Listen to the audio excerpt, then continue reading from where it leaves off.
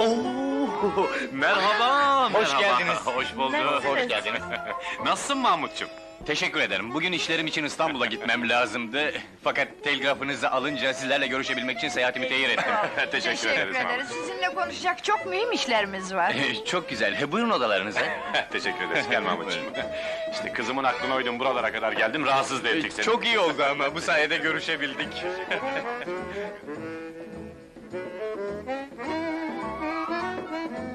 Gazetedeki beyanlarınızı okudum. Çok yanlış hareket ettiniz. Necdet at çobanı değil, Avrupa'da tahsil görmüş kültürlü bir gençtir. Haklısınız Mahmut Bey ama... Kızım atlarından birini alacağım diye tutturdu. Ben de istediği parayı vermeye hazırım. Parasını verdikten sonra o adamdan her şeyi alacağıma eminim. Gene yanılıyorsunuz. Necdet çok gururlu, zengin bir insandır. Babası ona büyük bir servet bıraktı. Peki şimdi ne yapabiliriz? Buraya kadar boş yere mi geldik? Buradan bir iki saat mesafede bir çiftlikte yaşar. Yanınıza bir kılavuz alarak oraya gidebilirsiniz. Bir de kendisiyle görüşün. Tamam, bundan sonrasını bana bırakın. Necdet Bey kim olursa olsun onu yola getireceğime eminim.